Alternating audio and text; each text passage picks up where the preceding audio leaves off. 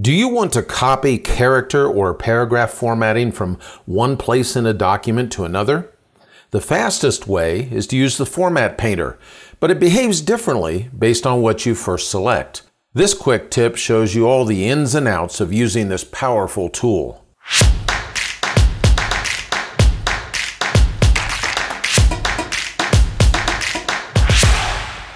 The Format Painter is a powerful tool that comes in very handy as you format your document. The tool is located on the Home tab of the ribbon, right up here in the Clipboard group.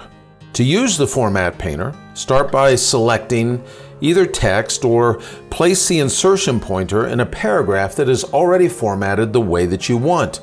For instance, if I want to copy the paragraph formatting from this particular paragraph, all I had to do is click within that paragraph. Now I can go up and select the Format Painter. I click on it just once, and then I go and select or click within the paragraph that I want that format copied to.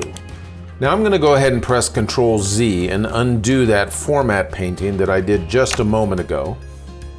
And I want you to take a look at exactly what we did.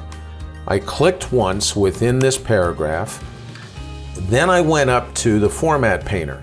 And if I wanted to, I could double click on the Format Painter up here, and if I did, that would lock it into the on position so I can copy formatting to multiple places within my document.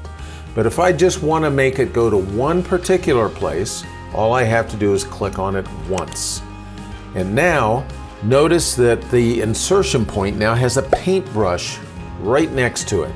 That means that I can paint this format to some other place within my document. And all I had to do is go down and click once in the target paragraph and the paragraph formatting was painted down to that paragraph. Again, I'm going to go ahead and press Ctrl Z to undo that change. If I only wanted to paint some characters within the document instead of an entire paragraph, then all I have to do is go ahead and select the characters that represent the format that I want to paint, and then I go ahead and I click on the Format Painter again. Now I want you to notice that in the text that I have selected over here, that there is a mixture of formats. The word professionally is bold and italic. The word produced has no such formatting on it. When you're painting just character formatting, it's important to note what the very first character in that selection is formatted like, because that's the format that's going to be painted. So if I go down here and I select a whole bunch of text in here, Watch what happens when I release the mouse button.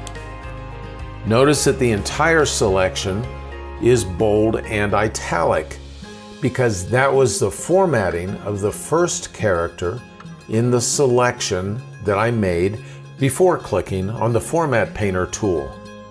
I'm going to go ahead and press Ctrl Z again to undo that formatting.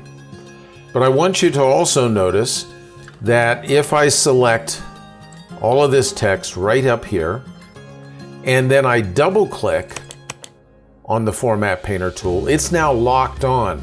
So what that means is, is that I can take this and I painted the format.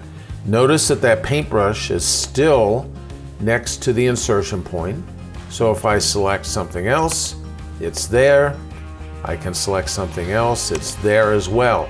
I've locked on the Format Painter so I can apply that format in multiple places throughout my document.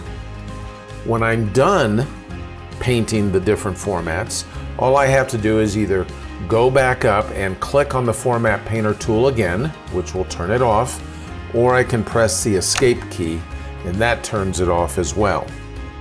If you found this quick tip helpful, be sure to click the subscribe button and then the bell icon. That way YouTube will keep you informed when I add any more videos to the Word Tips channel. Thanks for spending a few moments with me today.